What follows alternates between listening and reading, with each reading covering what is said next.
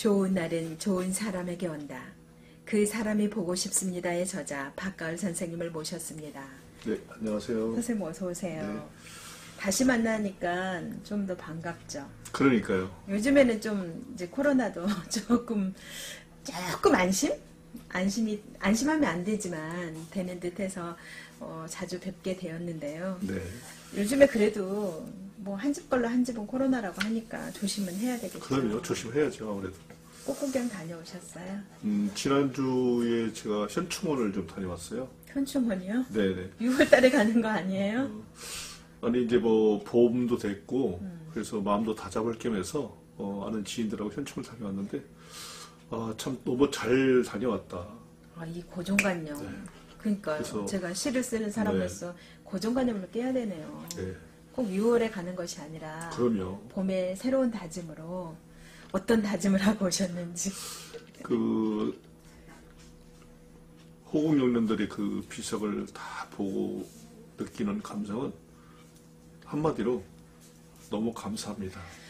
감사합니다, 진짜. 그걸 모르고 살았더라고요. 감격스럽죠. 저분들 때문에 우리가 이렇게 어, 잘 살고 있고 하는데 우리가 너무나 모르고 이렇게 살아왔다는 것을 느꼈어요. 한 번들 가보세요. 나라를 지키기 마음. 위해서 네, 네. 희생하신 그분들 덕분에 지금 선생님과 저도 시가 되는 비밀을 찍고 있고 그럼요. 그 돌아가시는 분들 연절기를 보니까 청년 16세에서 23세 그 사이더라고요. 아, 얼마나 가슴이 저리던지 죄송합니다. 그래서 제가 선생님의 시집 속에서 인간의 노래라고 아 그랬구나. 예. 인간의 노래 범위가 굉장히 큰데 네. 제가 이제 시어들을 좀 감상했는데 네. 그 안에는 소소한 우리의 어, 삶의 이야기가 담겨 있더라고요. 제목은 너무 거대했거든. 그랬는데 안에 들어가 보니까 따뜻한 사람의 이야기가 들어 있어서 좀 감사하더라고요. 네. 그쯤에서 또 현충원 도 다녀오셨다고 하니까 더 다르게 네. 이 시를 감상할 수 있을 것 같습니다. 역시 3년으로 되어 있고요. 네. 그러면 차근차근 풀어보도록 하겠습니다. 네. 네. 제가 오프닝으로 좋은 날은 좋은 사람에게 온다라고 먼저 시어를 공개했는데요. 어떤 뜻이에요? 좋은 날은 좋은 사람에게 온다. 그러니까 아침에 어, 출근할 때 좋은 마음, 긍정적인 마음으로 오면은 분명히 좋은 이미지로 좋은 사람 만나게 돼요. 내 마음속. 그렇죠. 구겨진 마음으로 또 뾰루통한 마음으로 오게 되면은 사람이 보는 시야가 다 틀리잖아요. 그렇죠. 긍정적인 그렇죠. 생각은 네. 긍정적인 하루 또 예. 긍정적인 사람을 만나게 된다. 그렇죠. 좋습니다. 인생길에서 특히 정말 말 한마디가 얼마나 사람을 찌르기도 하고 그럼요. 힘이 되기도 하는지 몰라요. 네. 한마디 한마디 말 정말 조심해야 될 것 같고요. 사랑에 담긴 말을 건네는 하루가 되어야 될 것 같습니다. 그렇습니다. 그 다음에 향기 있는 장미꽃은 좋은 사람에게 나타난다. 다 나타나던데. 우리가 장미꽃을 보면 뭐 부모님도 다 보죠. 근데 중요한 것은 장미에는 가시가 있어요. 있죠. 그렇죠? 근데 긍정적인 마음으로 장미를 바라보면 너무 향기롭죠. 예쁘고 가시가 있다 할지라도 가시가 보이지 않아요. 그 가시 같은 말로 찌르면 분명히 가시가 되는 것이지만 정말 사랑의 말로 가시 역할을 한다면 가시가 사라진다는 얘기잖아요. 또 우리 인간관계에서 모든 사람들이 장미로 비유한 거거든요. 모든 사 장미꽃처럼 보이는데 예, 가시가 보이면은 어떻게 돼요? 꽃과 같이 향기롭게 살아가야 한다. 그렇죠. 미움이 쌓이지 말라는 것이죠. 그러니까 이게 습관이 되어서 나도 네. 모르게 상대방이 상처인지도 모르고 이렇게 던질 때가 참 많거든요. 그럴 때마다 한 스텝 딱 낮춘 다음에 생각하고 가야 될 것 같아요. 그럼요. 나는 대수롭지 않는. 말인데 상대는 그럼요. 기분 나쁠 수 있고 가시가 될 수 있으니까 음. 이 시를 통해서 우리가 반성도 하는 조금 나를 낮추고 네. 가라앉힐 필요가 있을 것 같습니다. 네. 이연을 보도록 하겠습니다. 진솔한 사람과 의미 있는 일을 같이 해야 한다. 그러니까 뭔가 통하는 사람이랑 진실된 사람이랑 해야 된다는 뜻인가요? 그렇죠. 사람은 겉과 속이 다르기 때문에 그 속을 알 수가 없어요. 그렇죠? 그런데 어, 대화를 해보고 만나 보면은 그 마음속이 어떤 마음인가 알잖아요. 어느 정도는 그렇죠. 저 사람이 진실한 사람인지 아니면은 가면을 쓰고 있는 사람인지 알기 때문에 우리가 살아가면서, 살아가면서 다 뭐 그 겉과 속을 판단할 수 없지만은 내가 진실하면은 상대방도 진실하다는 얘기죠. 어느 정도는 그렇죠.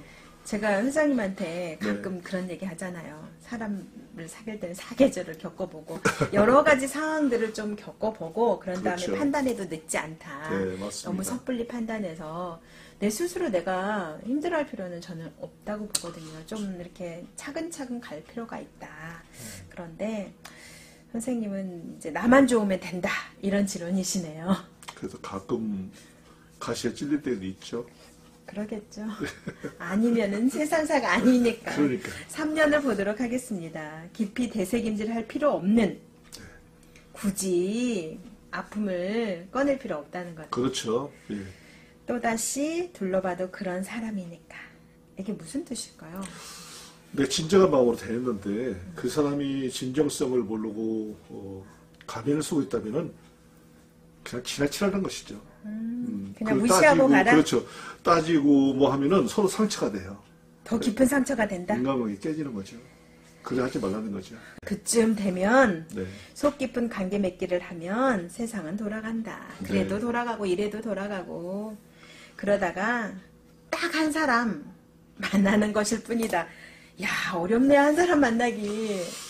그 옛날 어른들이 이제 그렇잖아요. 어, 진정한 친구 세 명을 뒀다면은 인생은 잘 살았다. 세 명이요? 근데 저는 한 사람밖에 없어요. 한 사람도 성공이죠. 글쎄요, 제- 어, 제가 마음을 주고, 아, 저 사람은 진정한 친구다라고 생각했는데, 어느 날, 뒤돌아서더라고요.